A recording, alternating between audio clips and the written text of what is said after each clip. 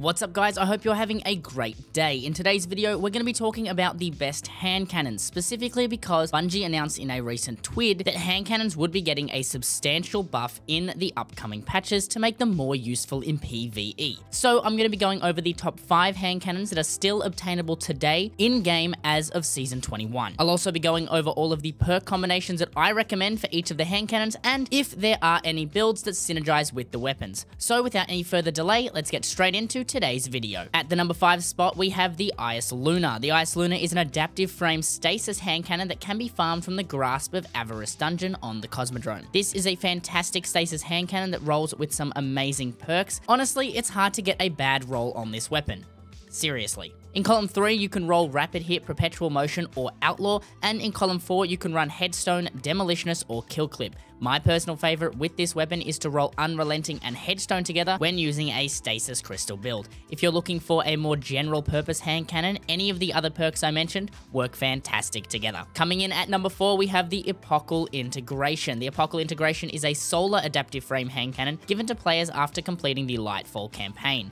It has a set roll so you don't need to go hunting perks, and it's a pretty solid set of perks. Because this weapon is so easy to obtain, I have included it. Most Lightfall players will already have it, but if you don't own the Lightfall DLC, you're out of luck on this one. If you are interested, here are the perks that are on it. In column 3, we have Keep Away and Stats for All, and in column 4, we have Eye of the Storm and Incandescent. Basically, if you're running PvP, use the top perks, and if you're running PvE, use the bottom perks. Hitting enemies with Incandescent should also proc stats for all, counting the damage dealt to enemies through the explosion. This hand cannon works great for Solar Scorch builds. Top 3 now, number 3 is the good old Fatebringer. The Fatebringer is an old Destiny 1 favorite, and when it returned to Destiny 2, it was no different. The Fatebringer can be farmed from the Vault of Glass raid in the Legends tab. The Fatebringer is an adaptive frame kinetic hand cannon that rolls with a great set of perks, making it a contender for both PvE and PvP play. Rolling with perks like Osmosis, Rewind Rounds, Explosive Payload,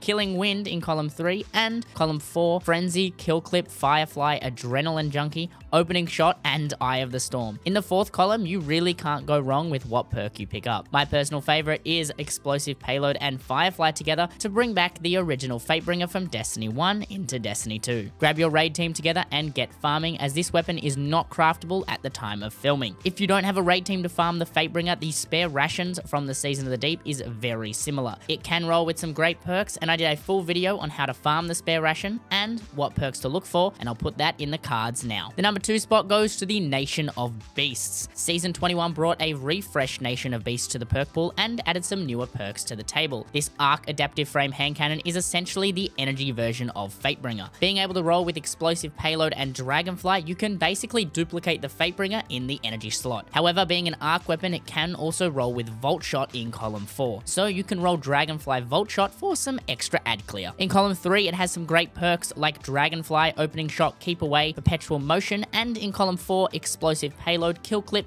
Volt Shot, Golden Tricorn, a great energy hand cannon for both PvE and PvP, and if you have a raid team, I would look at farming Last Wish. Especially as this weapon is craftable, you'll be able to get exactly the perks you're looking for, and while Last Wish is the weekly raid, farming the first boss, Kalli is incredibly easy. And the number one slot goes to Zaouli's Bane. Zaouli's Bane is an adaptive frame solar hand cannon and can be focus farmed from the King's Fall raid, and it can also be crafted. This fantastic hand cannon can roll with some solid perk combinations. However, most importantly, you can run incandescent on it, making it perfect for solar scorch builds. So let's take a look at the perks you'll want to craft on this weapon. In column 3, the best perk easily is explosive payload, but if you are using a melee build, pugilist isn't too bad either. In column 4, incandescent is great for a scorch build, but if you're not looking to run a scorch build, you can also put on one for all, demolitionist, or firefly. Now I am going to include the Ikelos hand cannon version 3 as an honorable mention. A precision frame hand cannon, I personally don't enjoy the rapid fire hand cannons for PvE, however this is probably the best void hand cannon obtainable in the game right now, and I suspect that next season we will get an adaptive frame void hand cannon, but we'll have to wait and see what Season 22 drops next month. While not my favorite archetype of hand cannon, the Ikelos version 3 does have some pretty decent perks, and is a craftable weapon. Rolling with perks like Subsistence, Triple Tap, Rapid Hit, and Stats for All in the third column, and Frenzy, Golden Tricorn, One for All, and Rampage in the fourth column. It can be used as a great weapon for a Void Volatile build for smashing through enemies. And that's all for today's video. I hope you have enjoyed. Make sure you get farming a few of these hand cannons before the big hand cannon changes. If you want to connect with me, my Twitter, Discord, and Twitch are all linked in the description below. Until next time, happy gunslinging, Guardian.